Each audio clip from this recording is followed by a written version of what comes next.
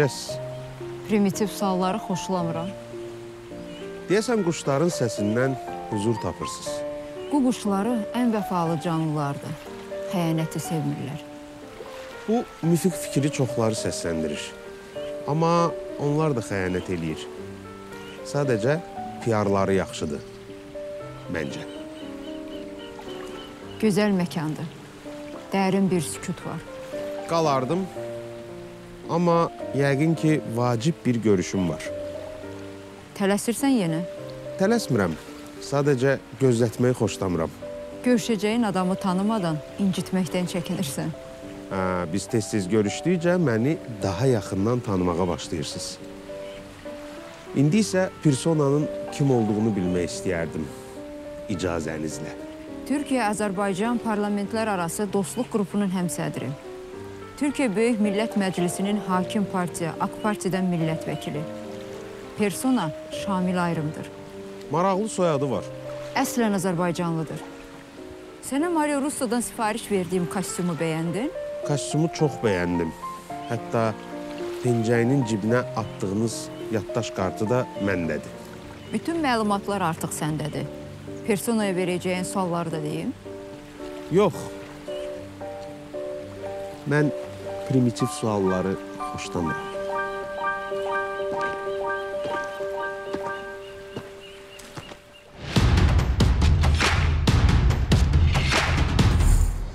Gence'den gelirim, yüküm hurmadır. Nədir sizi Gəncəyə bağlayan? Bir arabayla gelmiştik. Yüz arabayla bizi yolcu ettiler Gence'den. Soyadınızdakı ayrım sözü artıq e, bildirir ki, siz hansı torpaqlardansınız? Şamil Ayrım 100 faiz Azerbaycanlı demek. Öyle deyince beni sarıldı böyle sıktı. Nəsə baş versə, hakimiyyətə e, müxalifat gəlsə, bu e, münasibətlərə nəsə toxuna bilərmi? Kimse e, en ufak bir çizik atamaz. Atarsa onların karşısında Şamil Ayrım bulurlar. Türkiyə dövlətinin Qarabağda iqtisadi maraqları varmı hansısa? Niye rahatsız ediyor seni? Artık eski 30 yıl evvelki Azerbaycan yok. Zəngəzur koridoru nə vaxt açılacaq? Rusya bu bölgede etkin bir güç. Türkiye ile Azerbaycan arasında bir engel kalmayacak. İsmi ne olursa olsun. Kolay kolay e, kimse bozamaz bu ilişkileri. Bir yumrukta kafalarına yer otururlar. Nokta.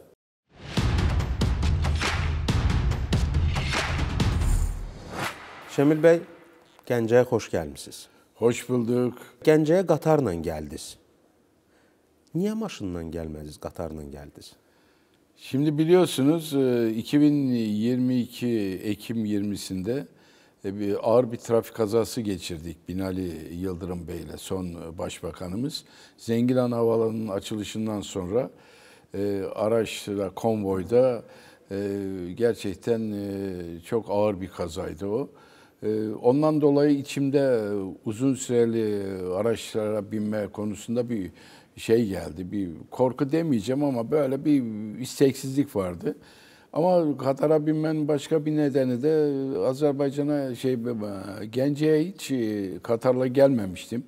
Merak da ettim açıkçası. Hem e, treni hem konforunu hem de gelirken geçtiğimiz yerlerdeki e, yaşam yerlerini böyle trenden izlemek istedim. O nedenle yoksa başka özel bir şey yok. E, Allah rahmet etsin. Umumilli lider Haydar Bey bizimle görüşürken her görüşmemizde e, muhakkak Azerbaycan'ın her tarafını gezin. Birbirinizi çok iyi tanıyın diye talimatları vardı. E, Sayın e, İlhan Bey'le de görüştüğümüzde hep bize soruyor.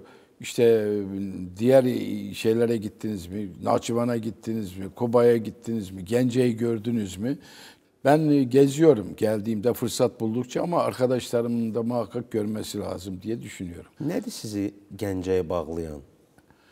Ya Gence tabii güzel bir soru. Çok teşekkür ederim.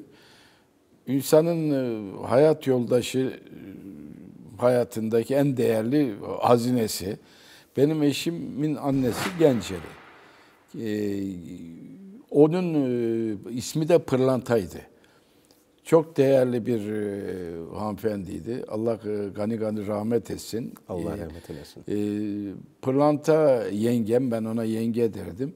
Pırlanta yengem hep e, Azerbaycan'ı buradaki günlerini anlatırken 13 yaşına kadar burada yaşamış. Hep Gence'den bahsederdi. Gence'deki güzelliklerden, çocukluğunun geçtiği yerlerden biz sanki Gence'de büyümüş gibi e, kendimizi hissediyorduk. Tabii ben e, 2003 yılında e, gözlemci olarak buraya geldikten sonra eşim ve çocuklarımı aldım geldim buraya. Bakü'den buraya gelirken yolda e, Gence'den gelirme, gelirem yüküm hurmadır diye bir e, biliyorsun bir manı var. Sanki te, radyoya onu tavşırmış gibi üç kere arka arkaya o manı çaldı. Benim eşim tabii e, gözyaşlarını tutamadı, annesini hatırladı. O sanki çocukluğu burada geçmiş gibi o günleri hatırladı. Çok duygusal bir e, şekilde biz Gence'ye geldik. Buraya gelince biz burada işte akrabalarını bulduk. Bir arabayla gelmiştik. Yüz arabayla bizi yolcu ettiler Gence'den. Onun için Gence bizim için çok önemli. Hem eşimden dolayı e, çok önemli. Bir de benim için başka bir önemi daha var. Biz Azerbaycan'ın bağımsızlığı için mücadele eden bir ailenin mensubuyum. Türkiye parlamentosunun da bir milletvekiliyim. Yıllardır e, babala, babam, dayılarım, e, hep Azerbaycan ve hemşerilerimiz Azerbaycan'ın bir gün bağımsız Azerbaycan'ı görebilecekmişiz diye hep o du- duygularla yaşadık. Ve e, tabii burada Gence'nin e, önemi çok fazlaydı. Çünkü Gence'de e, halk harekatını başlatanların liderlerinden bir tanesi Sara Elekber İmam e, kulu benim e, eşimin öz dedesi ve bizim e, değerli bakanımız İlhan Akuzun Bey, e, onun da öz dedesi, Özal'ın bakanıydı İlhan Bey, kültür bakanıydı. Hatta İlhan Bey e, genci Azerbaycan'a rahmetli Özal'a geldiğinde e, Özal o zaman e, Ayaz Mutalibov başbakan ona diyor ki benim e, turizm bakanım da Genceli'di. O da diyor ki bilirim Prezident Özal Gence balasıdır. Yani düşünebiliyor musunuz? Bizim Gence sevgimiz işte bizim bir yakınımız, bizim bir büyüğümüzün buradaki o halk hareketinin içinde olması, e, Bolşeviklere karşı başlatılan bir hareketti. Onun içinde olması bizi beni ayrıca e, Gence'ye bağlayan e, bir şey, e, bir e, önemli bir hareketti. Başka bir şey daha var. Ben biraz tarihe meraklıyım. E, Azerbaycan'ın bağımsızlığı için e, kitapları okurken Gence'nin ne kadar önemli olduğunu, işte e, Tiflis'te kurulan ilk cumhuriyetin bu- buraya taşındığını, buradan sonra Bakü'ye gittiğini, işte e, Nuri Paşa'dan sonra e, onun için Gence Azerbaycan'ın bana göre en önemli merkezi, en önemli şehri. Her Türk vatandaşının herkesin gelip görmesi gereken bir şehir. Buradaki insanları tanımaları lazım. Buradaki halkı görmeleri lazım. Burada Türkiye se- sevgisini görmeleri lazım. Ve tabii ki Gence'nin e, tatlılarını, yemeklerini tatmaları lazım diye Gence dolmasını, gence kaymağını da Aynen. Ee, Biraz evvel Gence baklavası ikram ettiler. Hakikaten olağanüstü bir baklavaydı. Yani Gence böyle. Daha anlatacak çok şey var. Nizami Gencevi'nin e, şehri.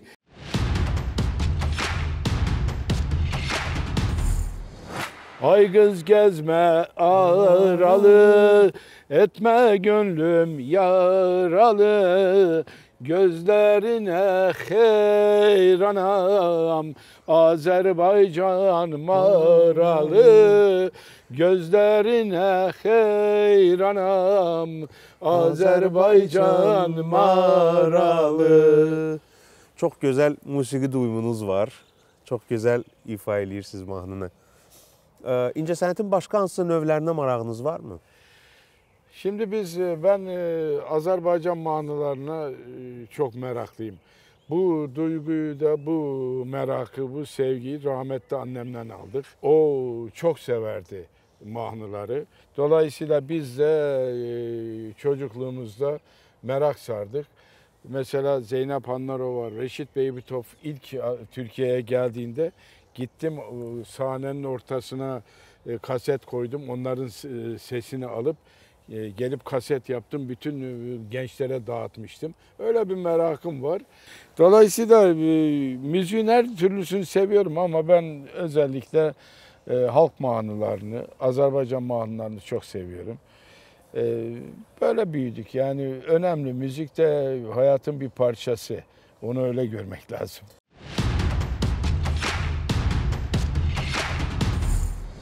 Şamil bəy, 2002-ci ildə siz siyasətdən getdiniz və sonra 18-ci ildə qayıtdınız.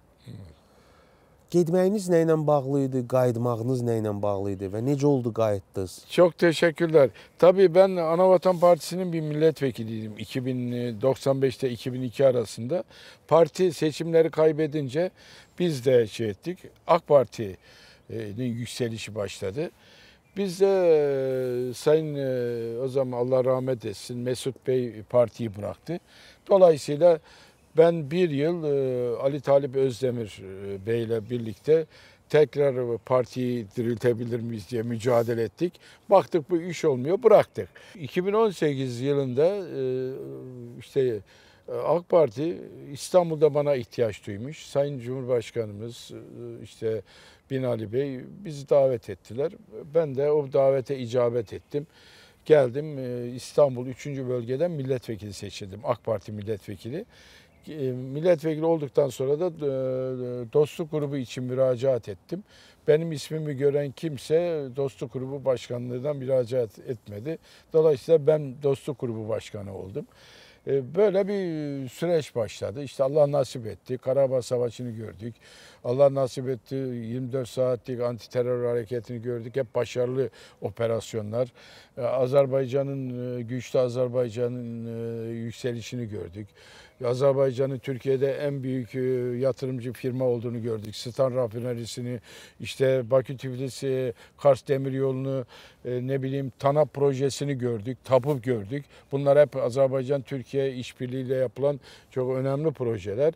Ve bunlar Türkiye-Azerbaycan arasındaki ilişkileri e, çok iyi bir noktaya getirdi. Karabağ şeyde savaşı da Türkiye'nin Azerbaycan'ın yanında dik durması da bunun tuzu biberi oldu diyelim.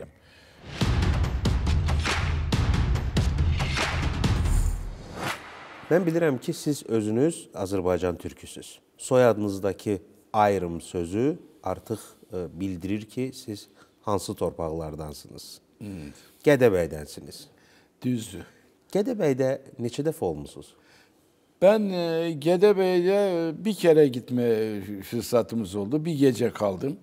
E, Ora e, o zaman e, bizim e, kayınbiraderim İlhan Aküzüm işte bakanımız onunla birlikte Şeki milletvekili dostumuz bizi götürdü.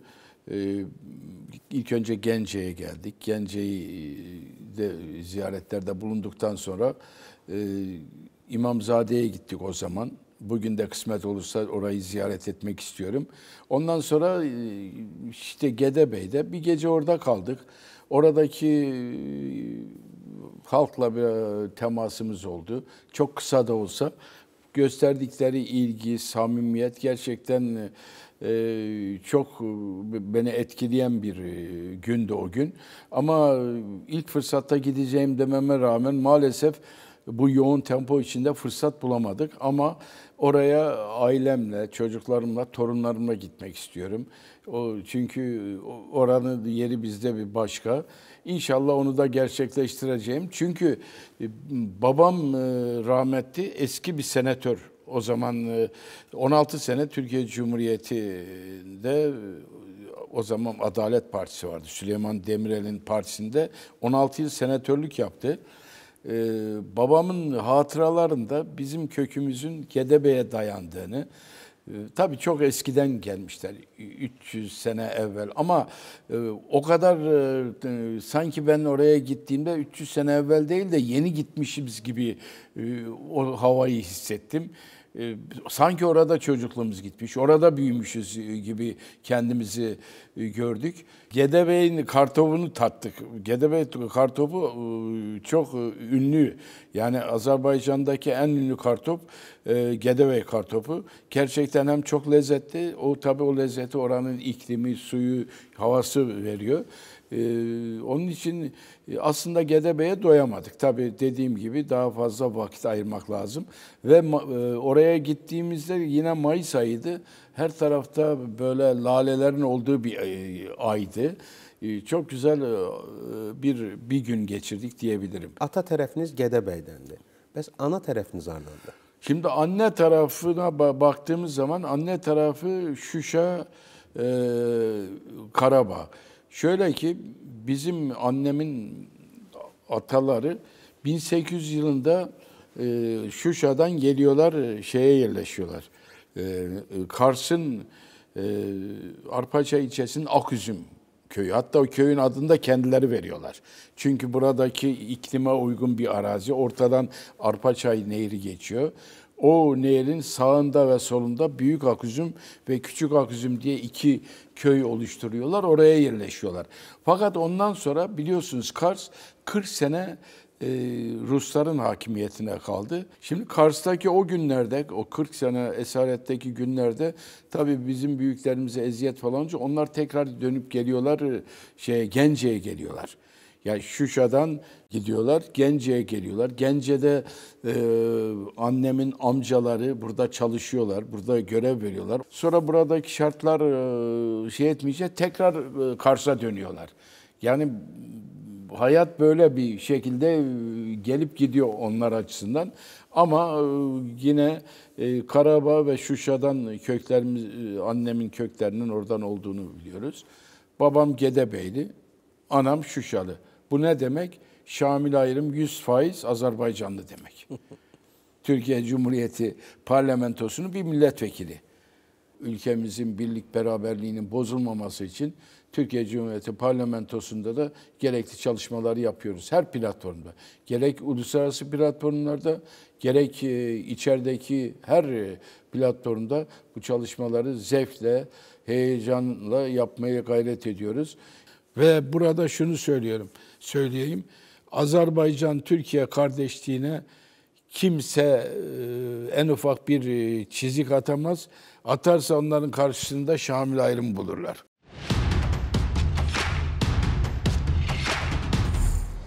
Heydər Əliyevlə tanışlıq necə oldu?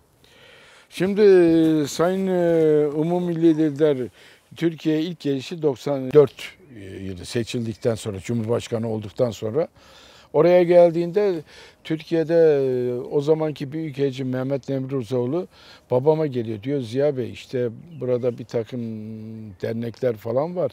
Yanlış düşünce içindeler. E, Siz gelin e, umumi lideri karşılayın falan. Babam diyor tabii memnuniyetle gelirim. Geliyor babam Haydar Bey'i karşılıyorlar. Orada bir konuşma yapıyor. Diyor ki e, Sayın Cumhurbaşkanı biz hep Azerbaycan'ın bağımsızlığını bekledik. Bugünü bekledik. 1947'den beri Azerbaycan Kültür Derneği, Mehmet Emin Resulzade'nin kurmuş olduğu dernek. O derneğin işte e, de babamın, dayılarımın çok emekleri var. Hatta küçük dayım uzun yıllar oranın başkanlığını yaptı. Biz e, hep Azerbaycan'ın bağımsızlığı için uğraştık. Biz sizin yanınızdayız. Yolunuz açık olsun. Biz e, son derece memnunuz sizi burada gördüğümüz için. Bağımsız Azerbaycan'ın Cumhurbaşkanı'nı burada gördüğümüz için. Tabi bundan çok memnun oluyor. Aradan e, işte kaç ay geçti? 94'te e, biz e, 95'te de ben milletvekili oldum. 96 yılında Hüseyin Cavit'in anıt mezarının açılışında biz de davet ettiler. Ben o zaman Iğdır e, valisini aradım. Dedim e, Sayın Cumhurbaşkanı davet etti. Nahçıvan'a gideceğiz. Biz 100 kişilik, 100 araçlık bir konvoyla Nahçıvan'a gittik. Ve gittiğimizde muazzam bir kalabalık var. Yine hava böyle yağmurlu bir gündü. Orada herkes konuşuyor. Rahmetlinin bütün arkadaşları, sanatçılar, işte heykeltıraşlar, müzisyenler hepsi orada Yürek Hüseyin Cavit'le ilgili yürek sözlerini söylüyorlar. E, Sayın Cumhurbaşkanı'na e, teşekkür ediyorlar Hüseyin Cavit'in anıt mezarını diktikleri için. Böyle bir şey. Birden e, onların konuşması bittikten sonra benim sırtıma baktım bir el dokundu. Genç milletvekili sen de bir çıkış yap dedi. Ben de hayatımda böyle kalabalık bir şeye ben bir avukat kökenli bir adamım. Böyle kalabalık bir gruba e, konuşmamışım. Çıktım ben de yürek sözlerimi söyledim. Sonra sırtımı sıvazladı dedi çok güzel bir çıkış yaptın. Sağ ol falan. Sonra bizim vali beyi çağırdı. Ya dedi e, sayın vali dedi. Milletvekili benim konağım dedi. Sen gidersin devlet işleri var git işinin başına. Bu gece bizim misafirimiz dedi milletvekili. Ben gece orada kaldım. Ee, akşam tabii büyük bir yemek verdiler. O yemekte bütün o e, davetli misafirler, arkadaşları. Haydar Bey'in en büyük özelliği dostlarına, arkadaşlarına çok vefalı bir insandı. Onlara çok değer veriyordu. Ben bunu gözümle görmüş, yaşamış biriyim. Onları böyle e, o şey mesela bir tanesinin ismini hatırlamıyorum.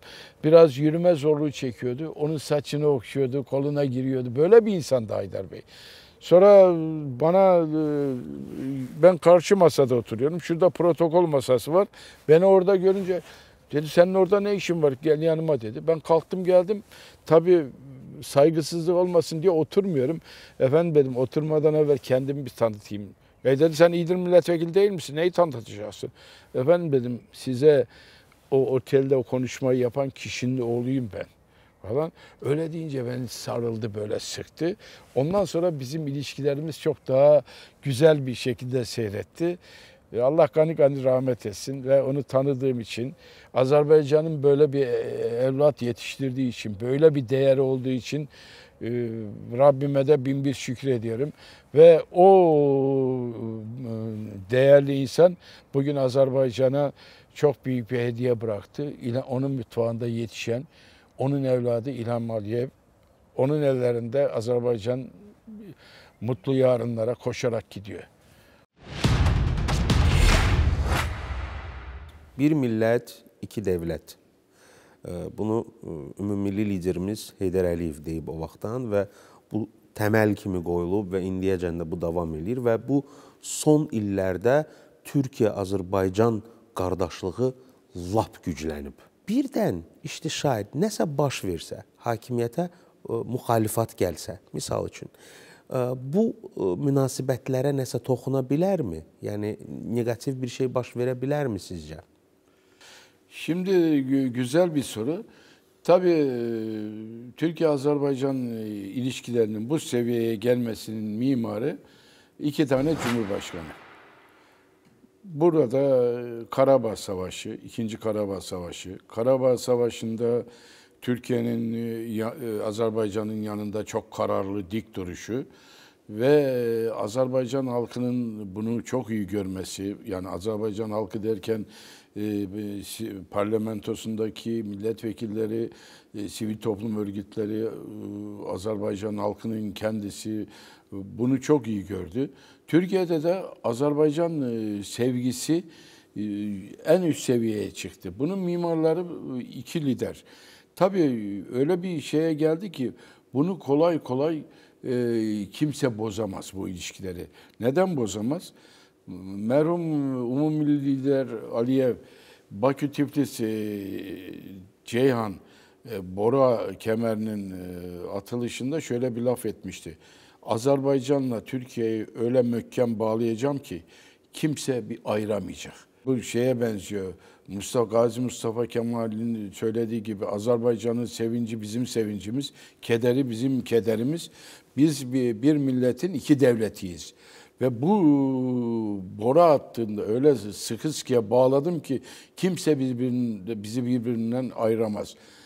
Şimdi e, İlhan Bey zamanında da e, Bakü Tiflis e, Kars Demiryolu projesi, TANAP projesi, Star Rafinerisi, Azerbaycan'da e, Türkiye'deki en büyük yatırımcının Azerbaycan olması bunlar çok önemli şeyler.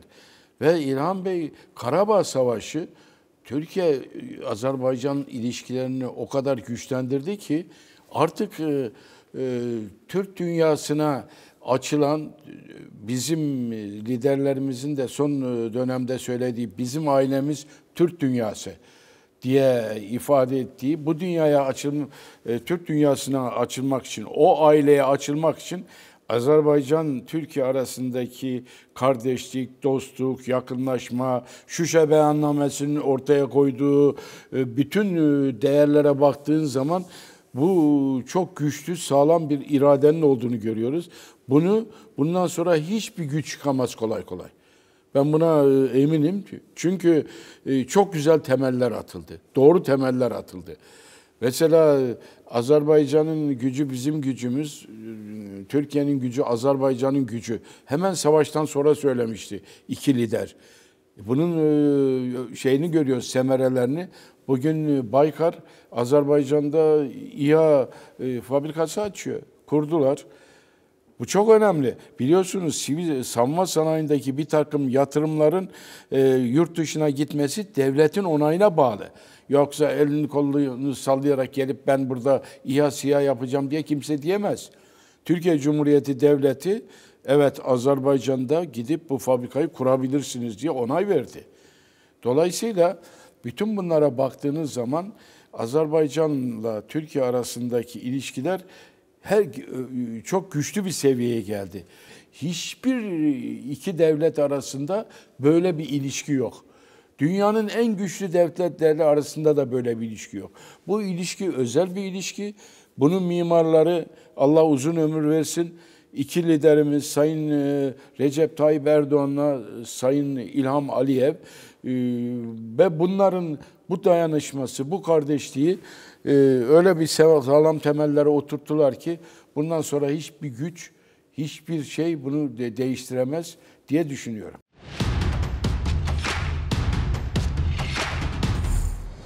Şuşa bəyənnaməsi zamanı, yəni Şuşada siz də var idiniz.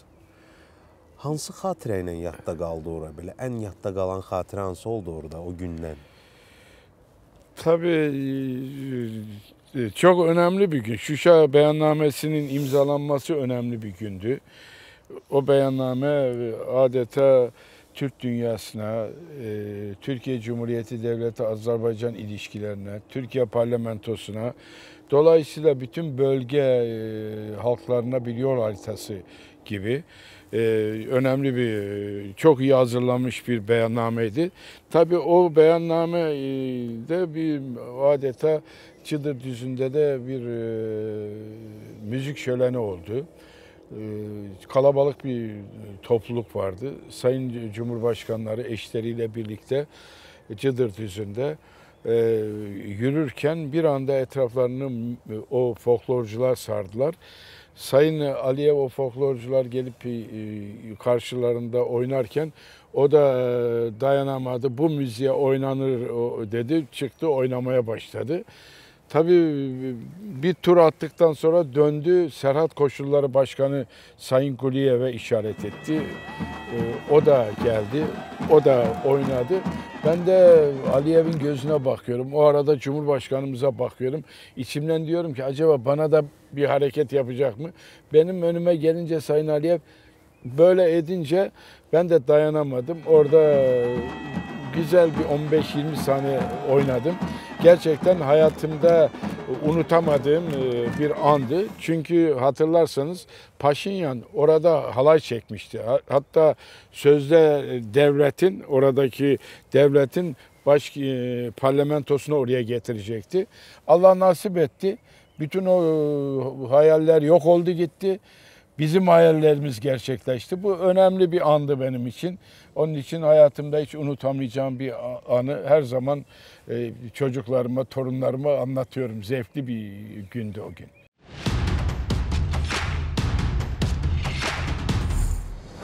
Cənab Prezident İlham Əliyev Evet. söyledi ki, bir millət, Evet. iki devlet ve bir yumruq. Tabii çok önemli, değerli sözler. Biliyorsunuz yumruk hadisesini, onunla ilgili bir anımı size aktarayım.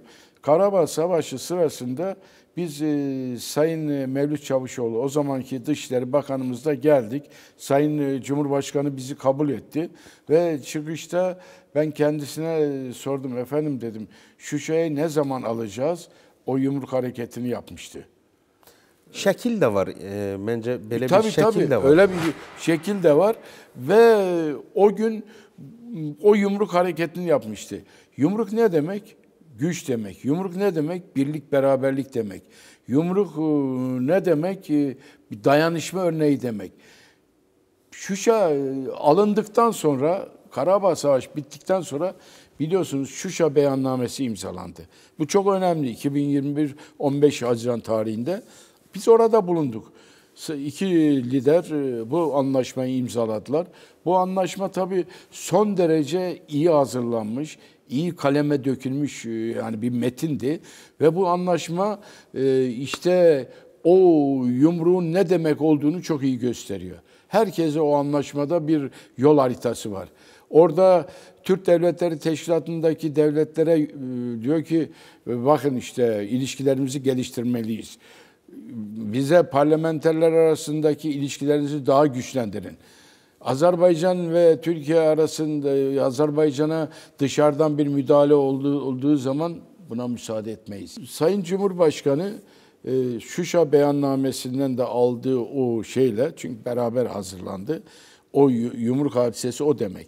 Bakınız bu yumruğu e, ben Sayın Cumhurbaşkanı'nın ağzından yine işittim. Ben dedim efendim ya bunlar ne yapıyor bu işte Fransa geliyor silah yiyorlar bu- bunları tekrar kışkırtmaya çalışıyorlar falan dedi ne yaparlarsa yapsınlar bir yumruk daha yer otururlar. Bir yumruk daha kafalarına yer otururlar. Yani bu kadar net. Onun için Azerbaycan ve Türkiye özellikle bu konuda çok tahakkuzda. Yani hazır vaziyette. Her an çünkü kimseye güvenilmiyor. Buradaki komşular da dahil. Bu çok önemli bir şey. Bakınız e, şey e, anlaşma imzalandıktan sonra üçlü anlaşma Ermenistan e, işte Rusya ve e, Azerbaycan arasındaki anlaşmadan sonra Laçin koridoru vardı. Oranın kontrolü Rus gü- güçlerine bırakıldı. Ama adamlar o koridordan iki sene yeni imal ettikleri mayınları geçirdiler. Ve anti terör hareketinde o mayınların 2021-2020 yapımı olduğu görüldü. Yani kimseye güvenmeyeceksiniz. Burada Azerbaycan çok akıllı bir şey yaptı. İlk önce aktivistleri oraya gönderdi. Sonra arkasından oraya kontrol kulesini, noktasını koydular. Çünkü dediler ki bu topraklar Azerbaycan toprağıdır. Laçin koridorundan bu tarafa geçmek isteyen herkes pasaportunu gösterip geçecektir. Şamil bəy, bura e, deyirsiniz ki, silah sursat keçirdirdilər e, Xankəndi tərəfə e, Laçın koridoru Tabii. vasitəsilə. Sizcə bu Rusiya sülh məramlarının məsuliyyətsizliyidir, yoxsa ne kadar konuşursak konuşun Rusya bu bölgede etkin bir güç. Yani e, gerçi 30 yıldır Rusya'nın da bu işte parmağı var. 30 yıldır bu Karabağ sorununu Birleşmiş Milletler Güvenlik Kurulu'nun aldığı dört katnameye rağmen çözmediniz. O katnameler ne diyordu anlaşmalar? Ya e, bu topraklar e, Azerbaycan'ın kadim topraklarıdır. Ermenistan bu topraklardan derhal çekilmelidir.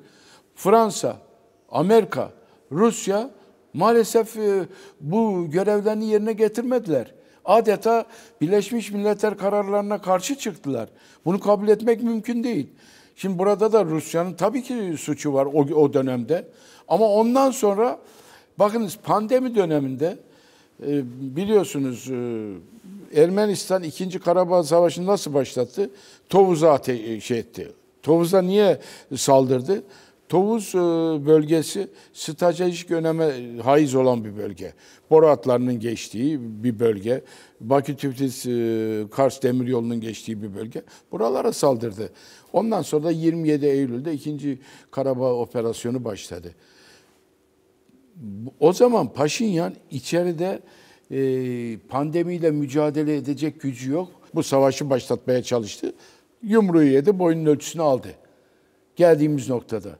Şimdi e, Rusya'nın tabii ki şeyi olmaz olur mu, ihmali olmaz olur mu? imal olması oradan o şeyler nasıl geçecek? Yani orada Allah'tan e, Azerbaycan demin de söyledim aktivistlerin oraya gelmesi 6-7 ay orada e, gerekli e, şeyi göstermeler, tepkiyi göstermeleri ardından Azerbaycan'ın oraya kontrol noktasının kurması ve oradan geçecek olan insanlara arkadaş burası benim toprağım buraya geçeceksen e, pasaportunu gösterip geçeceksin. Kimliğini gösterip geçeceksin demesi önemliydi. Maalesef o süreç geçti. Şimdi geldiğimiz noktaya bakmak lazım. Rusya'nın hatası imali oldu tabii ki. Olmasa böyle olmazdı. Yani yeni yapılmış mayınlar, silahlar oraya geçiyor. Bırakın onları. Orada savaşanlar, militanlar. Şimdi ge- geldiğimiz noktada Ermenistan'ın güvenliğini ve enerjisini yıllardır e, Rusya sağlıyor. Yani e, Gürcistan sınırı, Türkiye sınırı, e, bütün sınırlarda Rus askerleri var. belli. İki tane de üssü var Rusya'nın. Biri Gümrü'de olmak üzere. Amerika, Avrupa Birliği ve Ermenistan toplantı yaptılar Brüksel'de. Burada Türkiye yok. E, Asıl çağrılması gereken Azerbaycan yok. Yani bölge devletlerinin dışında bir tarafa alarak onlara biz size yardım edeceğiz. Burada onurlu yaşamanızı sağlayacağız. İşte e, Han kendinden kovulan 100 bin Ermeninin insanca yaşaması için biz gerekli yardımı yapacağız. Bunu hem Avrupa Birliği söylüyor hem de Amerika Birleşik Devletleri söylüyor. Amma bizim 1 milyon e, köçkünümüzə, məcburi köçkünlərimiz üçün Hiçbir şey yapılmadı. Onu demek istiyorum. Ne yapıldı, Ee, ne söylenildi, ne hiçbir şey söylendi. olmadı. Bunlara bunla bu insanlar tam 30 sene 30 sene ne çile çektiler. Bakınız anti terör hadisesinden sonra e, şu, şu Sayın Aliyev şu çağrıyı yaptı. Dedi ki bakın dedi burada yaşayan Ermeni vatandaşlar burada benim bayrağımın altında benim kanunlarıma göre yaşayabilirsiniz. Bütün bunları söylenmesine rağmen tarihlerle e, burayı terk ettiler. O zaman buradan ne çıkıyor? Demek ki siz bu han kendine dışarıdan getirip bir sürü adam koymuşsunuz. Baxın, elə bayaqları müxalifətdən danışdınız, e, bunun e, gözü götürməyən insanlardan danışdınız və s. və onlarla mənim bir neçə mübahisələrim olub. Türkiyə dövlətinin Qarabağda iqtisadi maraqları varmı hansısa? Ya Türkiye şimdi şöyle söyleyeyim cevaplandırayım. Ee, Savaştan sonra biliyorsunuz e, Baran'ın e, Sayın Aliyev çok önemli bir şey yaptı. Dedi bizim e, hatta konuşmalarında da bunu söyledi. Bizim Karabağ'ı bir an evvel yaşanılabilir, güvenli bir ortama çevirmemiz lazım. Çünkü 30 senedir bu Ermeniler buraya bir şey yapmamış. Her tarafı mayınlamışlar. Yani adeta bir gün buranın gerçek sahipleri gelip bu toprakları bizim elimizden alacaklar. Düşüncesinde yaşamışlar. Şimdi Karabağ zaferinden sonra Sayın e, Cumhurbaşkanı çok e, süratli olarak buranın e, berpasının gerektiğini, buranın yollarının, enerji hatlarının, havaalanlarının yapılması konusunda düşüncelerini açıkladı. Tabi burada da Türkiye firmaları devreye girdiler. E, 4-5 tanesi güçlü firmalar. Havaalanları ortak yapıldı. İşte yollar, tüneller. E, bu tabii bir şey meraktır. Yani bu da e, Türk e, firmaları için de bir imkandır yani. Bunu görmek lazım. Şimdi ileriye dönük olarak da e, Karabağ e, tabii ki e, orada birileri gelip e, bir takım madenlerin işletilmesi, e, ne bileyim oradaki su kaynaklarının daha verimli kullanılması bir sürü orada iktisadi e, şeyler olacak, ekonomik değerler var. E bunlar da Türkiye'de orada pay sahibi olmak ister. Niye istemesin? Ama bunu yaparken Türkiye e, Azerbaycan'ın isteği dışında Azerbaycan'a rağmen bir şey yapamaz ki. Yəni əgər biz xarici mütəxəssis axtarırıqsa, Evet. niyə fransızlara verək Türkiyə olan Ya, yerdə? Əgər tabii, Türkiyədə ya. bu varsa, Ya şimdi bir o işte ilişkiler şimdi Fransa'nın karın ağrısı orada. Fransa gibi devletler istiyorlar ki şimdi ben size bir şey söyleyeyim. Azerbaycan siz e, e, Azerbaycan ben Azerbaycanlı olarak Azerbaycan'ı yöneten birisi olarak Karabağ Savaşı'nda en zor durumda benim yanımda olanlarla mı iş tutarsınız yoksa beni 30 senedir sırtımdan hançerleyenler mi? Təbii ki. Hə. Təbii ki, sizinlə Şimdi tam razıyam. mesele bu. Onun için kimse şey etmesin. Türkiye'nin de, de gücü var. Azerbaycan'a yardım olan devletlerin hepsinin bir gücü var. Ve Azerbaycan e, yalnız değil. Qəzadan biraz istəyərdim danışmaq. Necə oldu qəza baş verdi? Nə oldu, nə baş verdi? Nə yadınızda qalıb? Şimdi şöyle söyleyeyim. Tabii kaza deyince aslında e, evvelini hatırlıyorum, sonrasını hatırlıyorum. O kaza anını hatırlayamıyorum. Çünkü şimdi biz e, biliyorsunuz o günlerde e, 20 Ekim e, e, 2022 tarihinde işte Karabağ'da ikinci büyük e, havaalanı açıldı. Zengilan Havaalanı. Oraya da Sayın Cumhurbaşkanımızın başkanlığında kalabalık bir heyetle geldik. E, Ve Sayın Aliyev tarafından karşılandı Cumhurbaşkanımız. Çok güzel bir gündü. Açılış yapıldı. Sonra akşam işte e, 4-5 civarında e, akşam yemeği için e, ge- geçildi. Yemekten sonra arabalara binilecek. Aslında benim arabam ayrıydı. Başka arkadaşlarla birlikteydik. O arada Binali Bey dedik ya Şamil beraber e, benim arabaya gel ben biraz konuşuruz falan bir değerlendirme yaparız. Ben onun arabaya geçtim. İkimizin de elinde telefonlar. Telefonlara bakıyoruz. Gelen bir şeyler var mı falan. Aradan havada kararmış. Yani 5-10 dakika geçti. Şöyle kafamı bir kaldırdım. Arabamız çok hızlı gidiyor ve öndeki arabaya neredeyse onu solluyor öndeki arabayı. Çünkü konvoyda arabalar sollamamak lazım. Arabayı sollarken tık sesi işittim. Ne oluyor falan dedim. Ondan sonrasını hatırlamıyorum. Sonrasını Binali Bey'e sordum. Ya dedim ben o anı hatırlamıyorum. Ne oldu? Ben çok iyi hatırlıyorum dedi. Dört takla attık. Her seferinde ben senin üzerine düştüm. Senin iki kaburgan kırıldı. Dolayısıyla benim sekiz kaburgam, omurgam hmm, çatladı. İşte tabii sağımda solumda bir sürü ezikler. Böyle bir ağır bir şey geçirdim.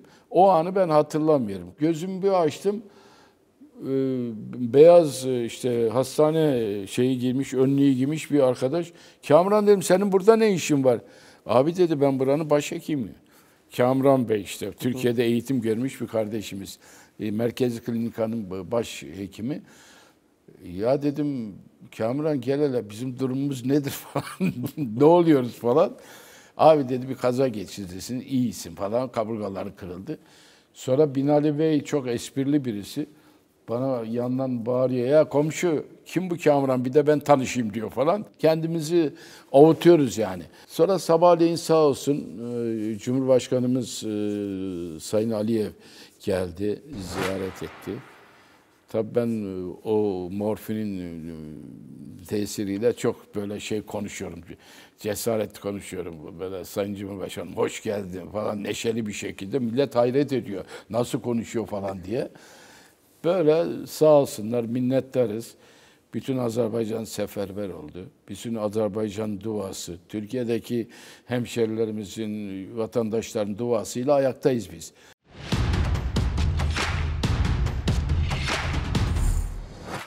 Zəngəzur koridoru nə vaxt açılacaq və yaxud da açılacaqmı?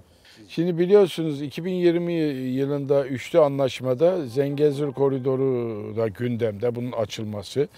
E, fakat e, maalesef bunu Ermenistan, İran, işte şimdi Fransa devreye girmiş.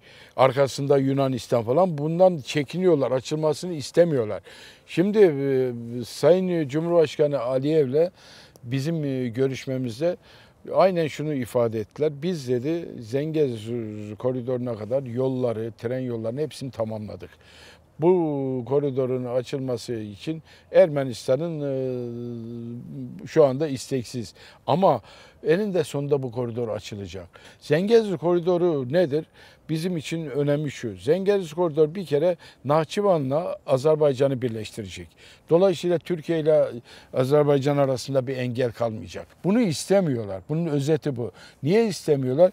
Çünkü bu koridor açıldığı zaman dil birliği, kültür birliği, inanç birliği olan bu Türk dünyasındaki bu dayanışmanın falan daha güçleneceğini düşünüyorlar. Halbuki düşünceler son derece yanlış. Zengezur koridorunun getireceği zenginlik bütün o coğrafyadaki ülkelere, Ermenistan dahil, İran dahil, Gürcistan, bütün o e, bölge ülkeleri için e, çok önemli bir e, getiri sağlayacaktır.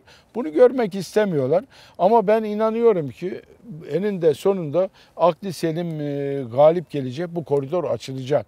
Ermənistanda, erməni mətbuatında belə bir çıxışlar eşitmişəm ki, bu koridora ə, Turan yolu deyirlər. Şimdi buna Turan yolu diyenler de var, Türk yolu diyenler de var. İsmi ne olursa olsun. Niye rahatsız ediyor seni? Turan koridoru olduğu zaman rahatsız ediyor. Fransa'da olsun, bütün Avrupa devletlerde diyalog kursunlar. Azerbaycan'la diyalog kursunlar. Yaptıkları toplantılara Azerbaycan'ı dışlayarak, bölge ülkelerini dışlayarak bir netice alamazlar. Artık eski 30 yıl evvelki Azerbaycan yok. 30 yıl evvelki Türkiye yok. Artık farklı bir dünya var. Bunu görsünler.